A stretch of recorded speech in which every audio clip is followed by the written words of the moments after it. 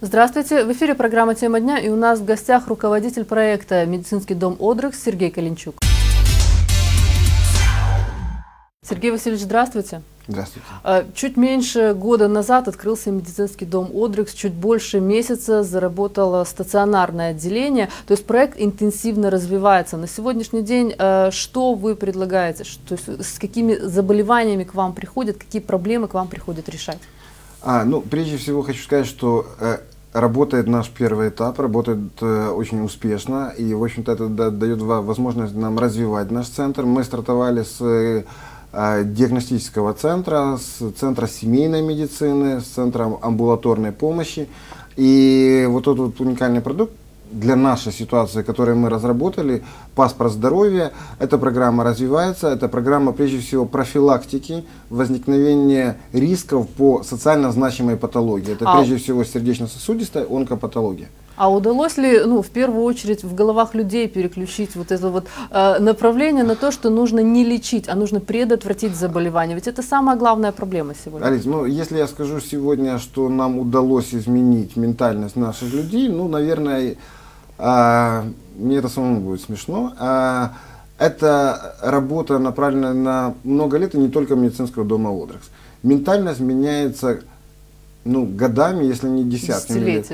А в такой сфере, как э, медицина, здесь ментальность может измениться либо путем каких-то революционных потрясений, да, либо путем системных изменений. Системных изменений имеется в виду что? Имеется в виду то, что здоровье станет, условно говоря, как это не может быть аморально звучит, а экономической составляющей жизни каждого человека. Что я имею в виду? Прежде всего, это в конечном итоге введение того же закона о страховой медицине. Почему? Потому что страховой полис человек получит только в том случае, если он пройдет предварительное обследование с точки зрения выяснения его состояния ну, Сергей здоровья. Васильевич, этапе... если мы говорим о предварительном обследовании, ведь э, сейчас, если прийти в обычную поликлинику, сказать, вот здоровый человек, я хочу пройти медосмотр, ну, это, во-первых, выливается в очень большую потерю времени и нервов и, и всего остального, о чем мы тоже можем поговорить. Э, вот. Но самое главное, сами врачи даже не, не, не всегда готовы к таким, э, казалось бы, здоровым пациентам, которым просто нужно подтвердить, что они здоровы. Они спрашивают, а зачем? Как у вас встречают таких, э, э, таких э, я не могу сказать пациентов, клиентов, которые хотят удостовериться, что с ними все в порядке, ну, и что ничего не произойдет с ними.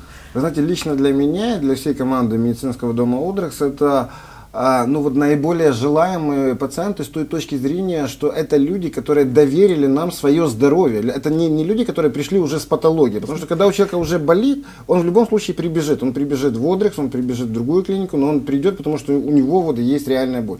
А вот когда человек... Болезнь нужно, можно найти врача. Да, а Кому ну, доверить здоровье? Да, да, даже не потому, что можно найти, а потому что у человека другого выхода нет. Просто ему надо искать сейчас срочно врача. У него срочно, у него э, ну, реальная проблема и реальная угроза. Когда же у человека нет этой угрозы, и когда он приходит и говорит, что я вам доверяю свое самое ценное, да, свое здоровье, вот это как бы уже ну, высочайшая степень э, доверия. Я еще раз хочу сказать, что для нас это, ну, для нас все пациенты ценны, просто это уже та степень доверия, которая характеризует уже работу нашего центра.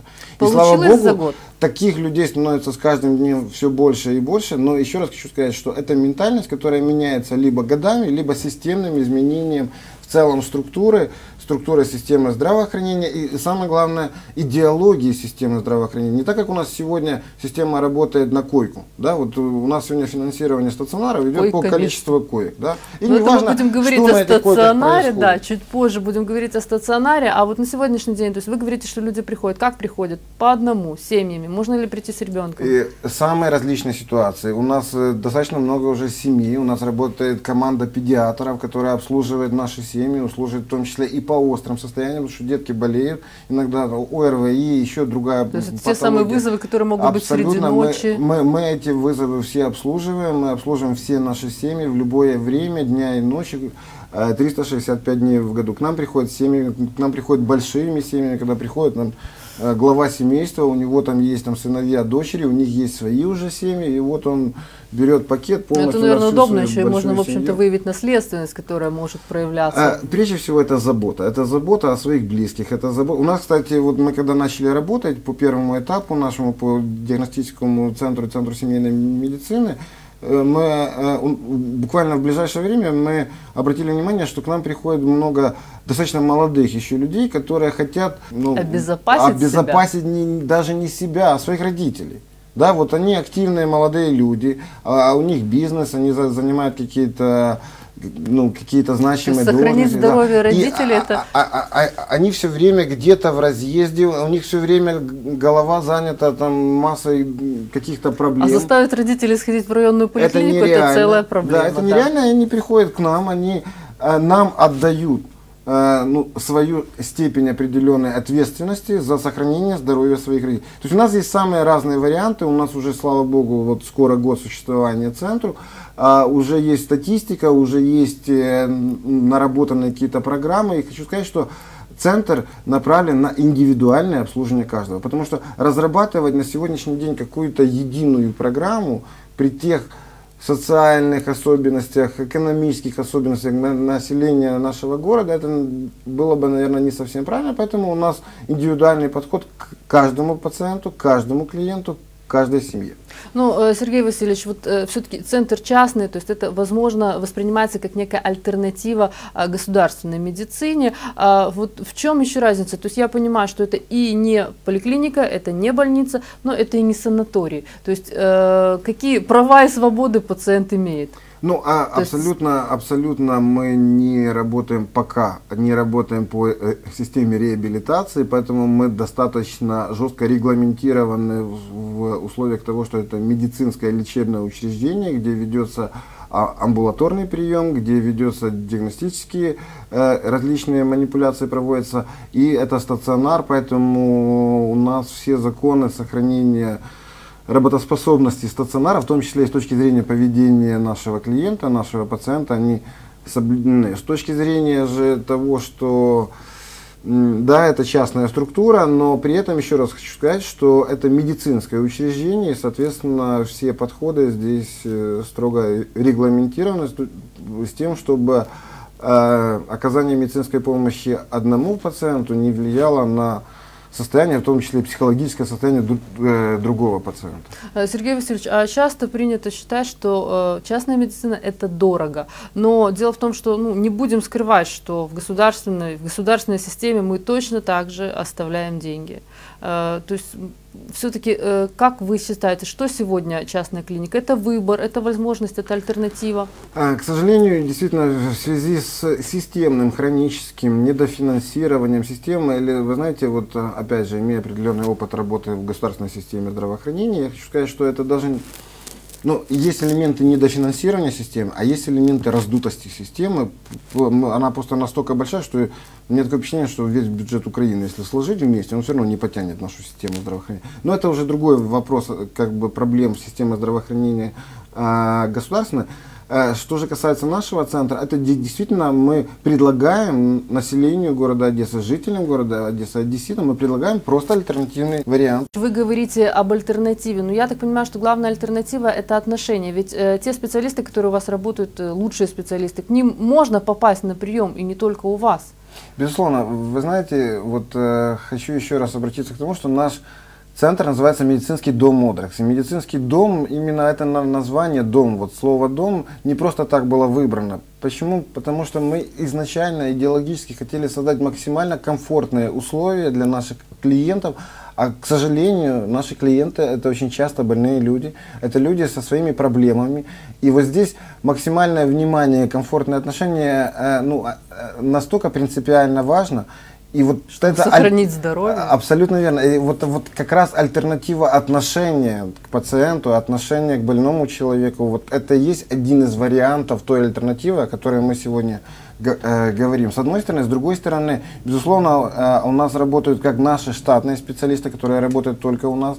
У нас также работают и наши консультанты, которым я очень благодарен, потому что они работают в других лечебных учреждениях и при этом работают в нашем центре, находят время а, но при этом э, для нас было принципиально важно создать для них тоже свои условия комфорта, с одной стороны, а с другой стороны дать им возможность раскрыть себя. То есть те технологии, которые сегодня у нас есть, позволяют нашим специалистам максимально раскрыть себя с точки зрения своей э, профессиональности, с точки зрения своего профессионального роста и так далее. О технологиях, я так понимаю, что понятно, что диагностическая база прекрасная, но вот эта э, технологическая база также позволила открыть стационар. Ведь э, стационарное отделение это операционное, это совершенно другой уровень, в принципе, медицинского учреждения. То есть какие возможности сейчас э, появляются перед одесситами, кто... Вот на сегодняшний день я хочу сказать, что вот прошло чуть больше месяца после открытия нашего стационара, у нас уже прошло больше 20 очень сложных операций, операций на аорте. Операции, ну, то есть это главный сосуд э, организма, самый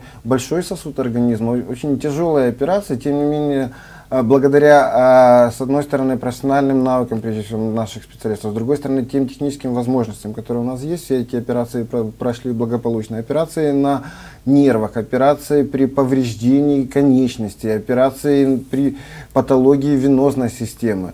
Кроме этого, у нас за это время уже про прошли лечение а, больные с кардиологической тяжелой патологией, с неврологической, больные с инсультами.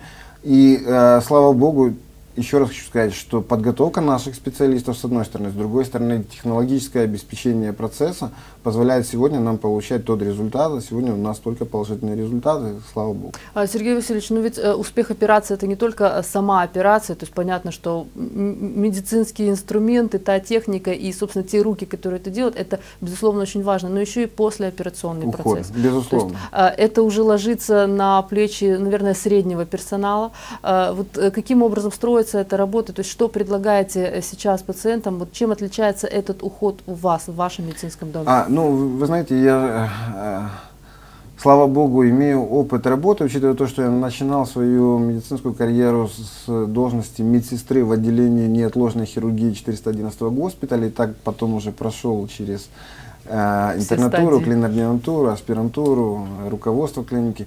А, поэтому я прекрасно понимаю, что если для консультативно-диагностического центра 90% э, функций успеха это врачебное, э, врачебное ну, умение распознать диагноз, это врачебное умение раскрыть пациента, потому что к нам очень часто приходят люди, как и в другие клиники, которые не готовы сегодня сказать о всем том, что у них наболело внутри. Они просто для себя даже внутренне закрываются. И, и здесь на 90% успеха это, это уже Доверие непосредственно врачу. умение врача работать с пациентом. То вот как раз для стационарной помощи, особенно хирургической стационарной помощи, здесь уже ну, очень большая роль среднего персонала, и поэтому открывая наш стационар, мы начали работу со средним персоналом, мы провели ну, такой достаточно мощный, ну, грубо говоря, кастинг. При этом мы отобрали на каждую должность по 3-4 человека. После этого а, они у нас проходили стажировку. У нас работает специальная группа психологов, которая работает с нашим средним медперсоналом для Прям того, как чтобы... В кино. Ну, на самом деле это вот все рядом на Раскидайловской. Поэтому... Все, все, что в кино показывают, все реально в нашей жизни. Э, Сергей Васильевич, вы говорили о том, что когда создавали медицинский дом Одрекс, э, то есть необходимо было создать такое медицинское пространство, э, когда человек в Одессе может получить консультативную помощь из Киева, из других городов, возможно, даже из других стран. На сегодняшний день удалось или пока в процессе? На сегодняшний день у нас работает уже наш, так называемый, мы его так назвали, международный отдел, работает уже данная наша структура, мы имеем контакты с нашими европейскими партнерами, мы имеем контакты с нашими украинскими партнерами, мы работаем с ведущими клиниками не только зарубежья, ближнего или дальнего, мы э, плодотворно работаем и с нашими украинскими клиниками, и в частности с клиникой доктора Емца, у нас а ежемесячно, два раза в месяц проходят консультации. Сейчас мы переходим на новый этап сотрудничества. У нас будут телеконсультации. Телеконсультации будут проводиться уже по мере необходимости. Уже пациенту не надо ждать вот этих вот два дня в месяц для того, чтобы А, то есть вы отдаете э, своих пациентов в другие клиники, в другие города частные, в Если другие частные пациент клиники? хочет услышать или... третье мнение, второе мнение, третье мнение, мы должны предоставить ему эту возможность. Если мы видим, что пациент в чем-то сомневается, если пациент э, не уверен в том, что те варианты решения, которые мы ему предлагаем, мы обязаны предоставить ему второе и, или третье или четвертое мнение, а дальше в любом случае выбор, где будет лечиться пациент, у кого будет лечиться пациент, прежде всего это пациент. Ну, я так понимаю, что э, вот это медицинское пространство это не только выбор, но и это еще возможность э, работы с другими самыми лучшими клиниками. Абсолютно, это не просто возможность работать, это возможность обмена информацией, обмена опыта, обмена знаниями.